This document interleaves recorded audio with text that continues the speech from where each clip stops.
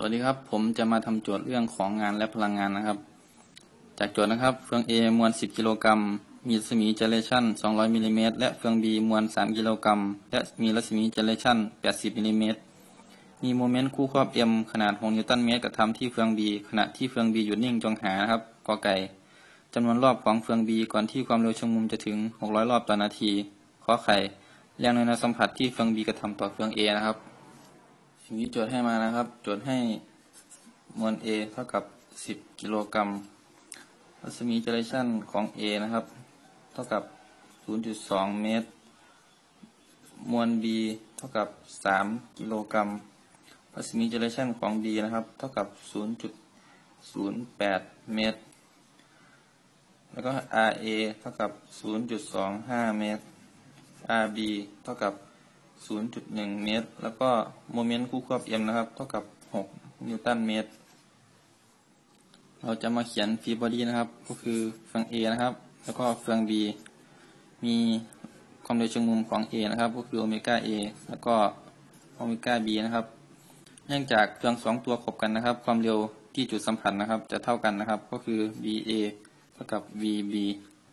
BA ก็คือ RA โอเมก้า A เท่ากับ VB ก็คือ RB โอเมก้า B นะครับ จากโจทย์นะครับจำนวนรอบของเฟือง B ก่อนที่ความเร็วเชิงมุมจะถึง 600 รอบต่อนาที เพราะฉะนั้นเขาให้โอเมก้า B นะครับ เท่ากับ 600 รอบต่อนาที หรือเท่ากับ 62.83 เรเดียนต่อวินาทีนะครับ เมื่อเราทราบโอเมก้า B แล้วนะครับ เราจะมาแทนค่าหาโอเมก้า A นะครับ โอเมก้า A ก็จะได้ RB โอเมก้า B ส่วนด้วย RA นะครับ แทนค่านะครับ RB ก็คือ 0.1 นะครับ ส่วนด้วย RA ก็คือ 0.25 โอเมก้า B นะครับ จะได้เท่ากับ 0.4 โอเมก้า B นะครับ เมื่อเราทราบโอเมก้า B แล้วครับ แทนค่าหาโอเมก้า A ได้เลยนะครับ จะได้เท่ากับ 0.4 คูณด้วย 62.83นะครับฉะนั้นโอเมก้า A จะได้เท่ากับ25.13เรเดียนนะครับ ต่อวินาที จากนั้นเราจะมาหาโมเมนต์ความเฉื่อยนะครับ โมเมนต์ความเฉื่อยก็คือ I เท่ากับ mk กำลังสองนะครับ I ของ A ก่อนนะครับ m ก็คือมวลของ A นะครับ ก็คือ 10 กิโลกรัม คูณด้วย k a กำลังสองนะครับก็คือ 0.2กำลังสองนะครับ แล้วกับ 0.4 กิโลกรัมต่อเมตรกำลังสองนะครับดังนั้นโมเมนต์ความเฉื่อยของ B นะครับเท่ากับ mb kb กำลังสองนะครับมวลของ A ก็คือ 3 กิโลกรัมแล้วก็รัศมีเจเนเรชันของ B นะครับ 0.08 เมตรกำลังสองนะครับ จะได้เท่ากับ 0.0192 กิโลกรัม ต่อเมตรกำลังสองนะครับ จากนั้นเราจะมาหางานนะครับ งานจากตำแหน่งที่1ไปตำแหน่งที่2ครับ ก็คือ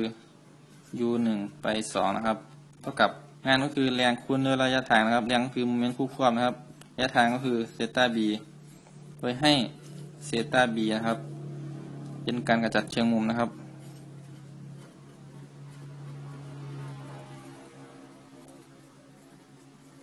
ที่เฟือง B หมุนไปนะครับ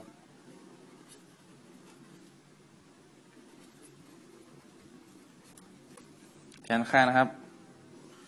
โมเมนต์คู่ควบก็คือ6นิวตันเมตรนะครับ แล้วก็เซตา B ติดไปนะครับ จากนั้นเราจะมาหาพลังงานจนที่จุดเริ่มต้นนครับ พลังงานจนที่จุดเริ่มต้นก็คือ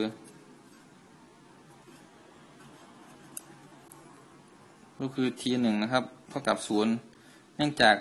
เริ่มจากหยุดนิ่งนะครับ ก็คือเท่ากับศูนย์ t สองครับตำแหน่งสุดท้ายก็คือหนึ่งส่วนสอง i a โอเมก้า a กำลังสองบวกหนึ่งส่วนสอง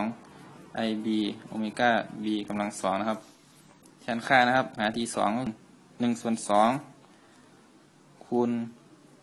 i a ก็คือศูนย์จุดสี่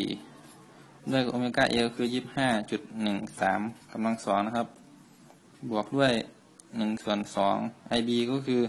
ศูนย์จุดศูนย์หนึ่งเก้าสองนะครับโอเมก้า b ก็คือ62.83กำลังสองนะครับจากนั้นกดเครื่องคำนวณออกมานะครับ ก็จะได้164.2จูลนะครับ เมื่อเราได้แล้วนะครับ เราจะมาแทนค่าในสมการของงานและพลังงานนะครับ ก็คือ t 1บวก u 1ไป2นะครับ จะเท่ากับ t 2นะครับแทนค่าเลยนะครับ ก็คือ t 1เป็น0 u 1ไป2ก็คือ6เซต้า b นะครับ t เท่ากับ t 2ก็คือ164.2จูลนะครับแทนค่าหาเซต้า b นะครับ ก็คือจะได้27.37เรเดียนนะครับ หรือเท่ากับหรือเท่ากับ 4.35 รอบนะครับ ได้คำตอบแล้วนะครับ ข้อขอไข่นะครับแรงแนวสัมผัสที่เฟือง B กระทำต่อเฟือง A นะครับ เพราะฉะนั้นเราจะพิจารณาที่เฟือง A นะครับแรงแนวสัมผัสก็คือตรงนี้นะครับ ให้เป็นแรง F นะครับ แล้วก็มีโอเมก้า A นะครับพลังงานจนที่จุดเริ่มต้นนะครับ t หนึ่งเท่ากับศูนย์ครับมือนเดิมนะครับ t สองจะเท่ากับ หนึ่งส่วนสองไพ a โอเมก้า a กำลังสองนะครับ เราจะพิจารณาแค่เฟือง a นะครับงั้นแทนค่านะครับหนึ่งส่วนสอง a ก็คือศูนย์จุดสี่โอเมก้า a ก็คือยี่สิบห้าจุดหนึ่งสามกำลังสองนะครับ กดเครื่องคำนวณออกมาก็จะได้หนึ่งร้อยยี่สิบหกจุดสามจูลนะครับ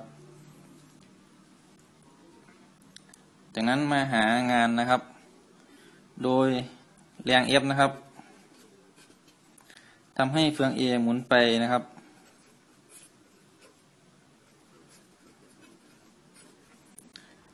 หมุนไป เป็นระยะทางนะครับ